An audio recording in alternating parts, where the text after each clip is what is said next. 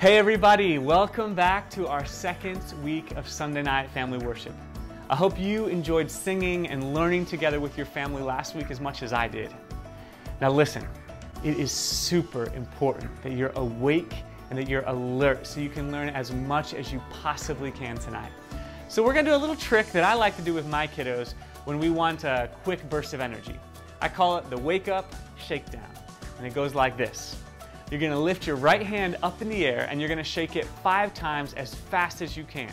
Then your left hand five times, your right leg five times, and your left leg five times. And then we're gonna start over again and shake out four times, three times, two, all the way down to one. Are you ready to do this with me? All right, well stand up wherever you are, parents too, and let's do a quick wake up shakedown. Ready? Here we go. One, two, three, four, five. One, two, three, four, five. One, two, three, four, five. One, two, three, four, five. One, two, three, four. One, two, three, four. One, two, three, four. One, two, three, four. One, two, three. One, two, three. One, two, three. One, two, three. One, two, one, two, one, two, one, two, one, one, one, one. Woo! All right. well, you feeling better? Man, I'm feeling awake now. Well, I, I have a question for you.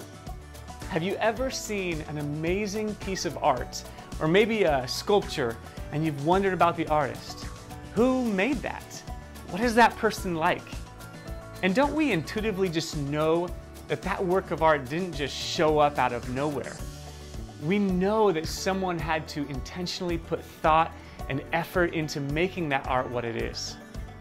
Well, have you ever looked around at the trees or the beautiful sky or, or even at the details of your own hand and wonder how such an amazing world came to be? Where did it all come from? Is, is there an artist behind all of that too? Well, today we're going to find out. But before we do, let's join the Wheeler family as we now add the second verse to the hymn Doxology. And I'll see you again in just a bit.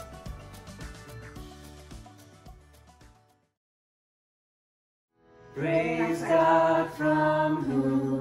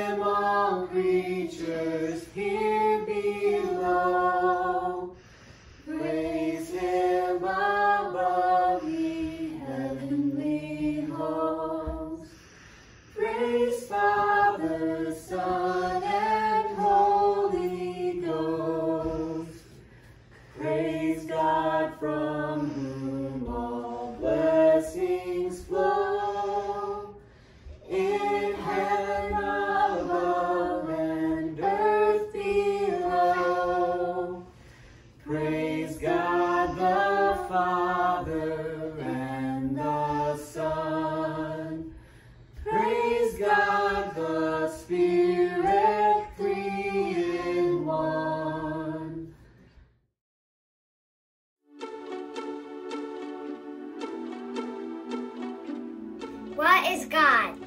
God is the creator of everyone and everything.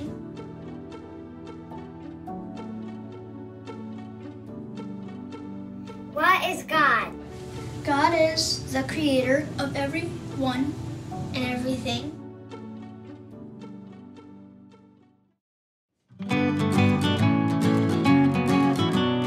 What is God? God is the creator of everyone and everything. God is the creator of everyone and everything. God is the creator of everyone and everything. God is the creator of everyone and everything. of everyone and everything, of everyone and everything. God is the creator of everyone and everything. God is the creator of everyone and everything. God is the creator of everyone and everything. God is the creator of everyone and everything. God is the creator of everyone. and everything.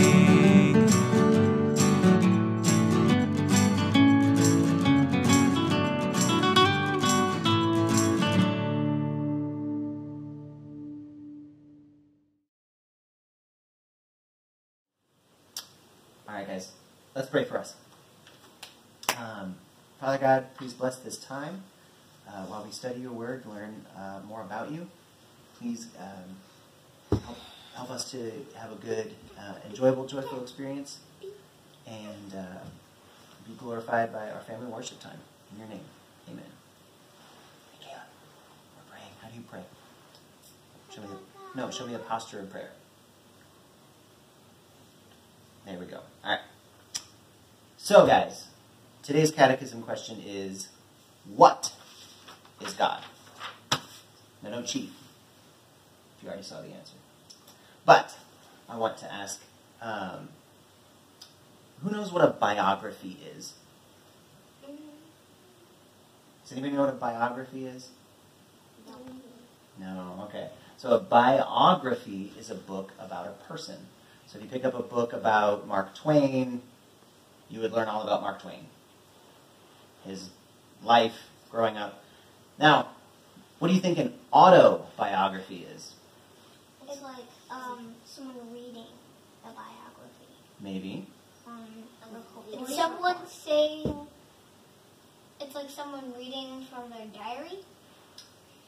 Kind of like that. So an autobiography is when a book about somebody, but that person wrote their own book. It's when you write your own biography that's called an autobiography.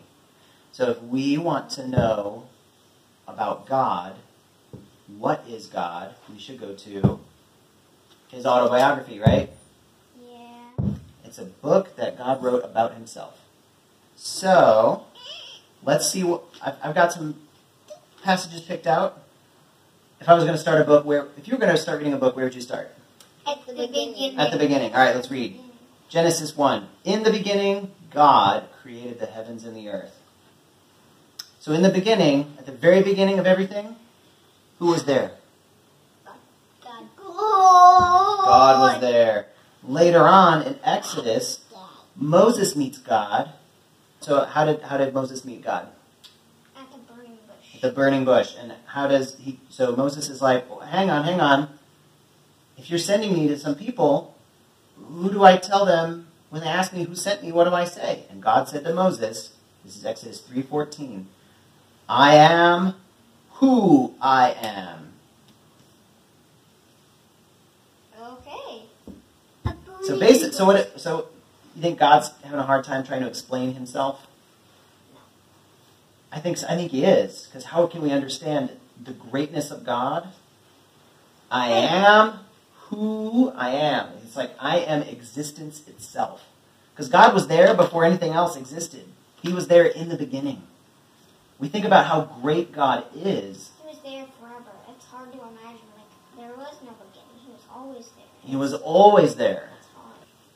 All right, so Colossians 1, verse 15, starting on verse 15. He is the image of the invisible God, the firstborn of all creation.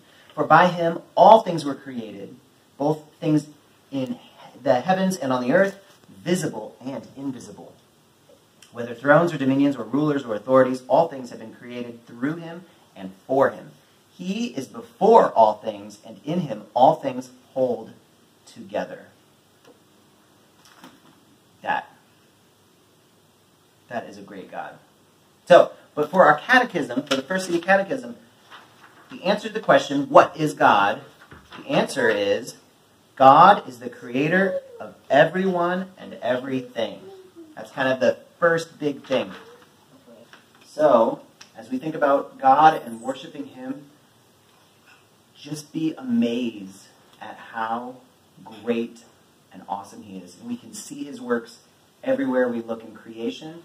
He shows us and points us to what kind of a God He is. And we also have His autobiography, okay, guys?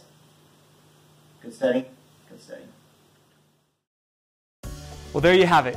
God is that amazing artist behind all of creation. Or as this week's catechism puts it, God is the creator of everyone and everything. So now our time is coming to an end, but your family gets to continue worshiping together by reading the scriptures and spending time in prayer. Enjoy, and I'll see you again next week.